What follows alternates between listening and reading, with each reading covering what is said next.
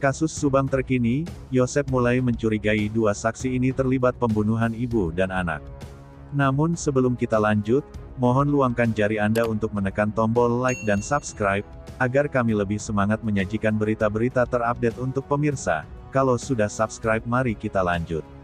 Perkara kasus Subang Jawa Barat ini yang menewaskan ibu dan anak saat ini memanglah banyak kecurigaan dan asumsi yang mengarah ke orang dekat kedua almarhumah yang melakukannya atau bisa dikatakan terkait dalam perkara keji ini.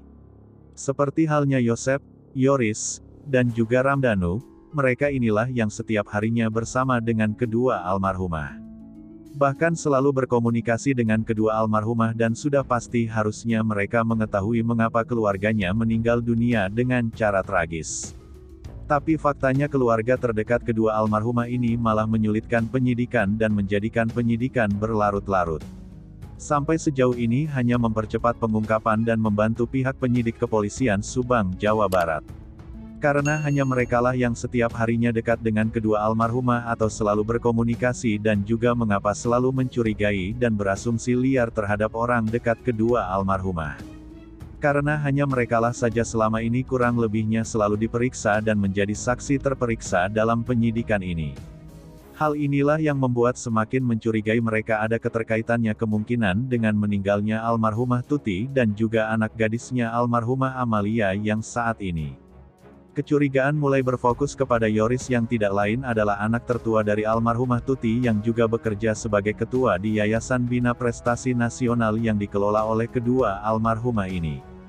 Kecurigaan ini mulai datang ketika Yoris bergabung dengan Yosep dan menjadi klien Rohman Hidayat dan itu atas kemauannya sendiri tanpa adanya paksaan.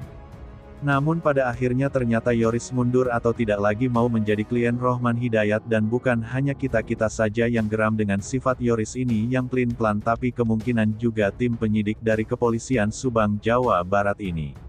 Pihak penyidik dari kepolisian juga sangat geram atas sifat dari Yoris ini dan bahkan Yosef sendiri juga mencurigai Yoris. Dengan mundurnya Yoris sebagai klien Rohman Hidayat bahkan Rohman Hidayat pun sampai saat ini tidak terpublis oleh media untuk mengklarifikasi mundurnya Yoris. Apakah Rohman Hidayat ini juga bingung dengan sifat Yoris ini?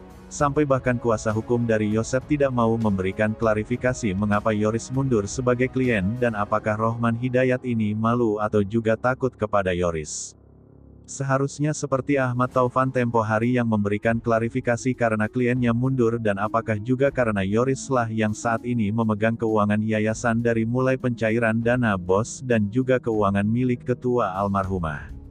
Apakah juga mundurnya Yoris ini sebagai klien Rohman Hidayat karena Yoris ini dimintai uang oleh Yosep untuk biaya operasional kuasa hukumnya? Karena tidak mungkin kuasa hukum ini secara gratis dan cuma-cuma untuk mendampingi mereka, di dalam kasus perkara Subang, Jawa Barat ini. Tapi fakta-fakta yang selalu kita lihat dalam perkembangan dan pengembangan penyidikan polisi Subang, Jawa Barat, memanglah kemungkinan ada keterkaitannya di antara mereka-mereka ini dalam perkara meninggalnya almarhumah Tuti dan juga almarhumah Amalia ini. Namun pihak kepolisian daerah Subang, Jawa Barat, belum bisa menemukan bukti yang sangat signifikan, untuk menjadikan salah satu di antara mereka sebagai tersangka dalam perkara ini. Apalagi Yoris yang tidak sama sekali ada jejaknya di lokasi tempat kejadian perkara, dan juga tidak ada jejaknya di barang bukti otentik seperti mobil Alphard milik almarhumah Tuti. Maka pihak kepolisian Subang, Jawa Barat, sangat kesulitan untuk mencari tahu dari pernyataan para saksi karena, semua pernyataan dari para saksi seperti ketakutan, juga atau bahkan seperti dibayar agar penyidik kesulitan mencari jejak si pelaku, dalam tindak kejahatan keji ini. Nah, Gimana menurut kalian? Terima kasih telah menyimak video kami. Nantikan video menarik lainnya hanya di channel Up Info.